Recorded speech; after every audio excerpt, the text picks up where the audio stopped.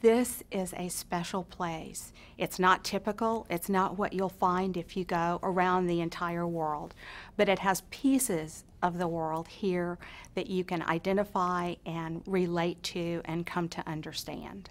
Uh, the typical Rice student is smart and probably not categorizable enjoys some hijinks now and then. The statue of the founder gets turned 180 degrees and then gets turned back within a matter of hours. Use your time here wisely, get to know the people around you, and discover what the best in you is so that you can always have that at your fingertips in the future.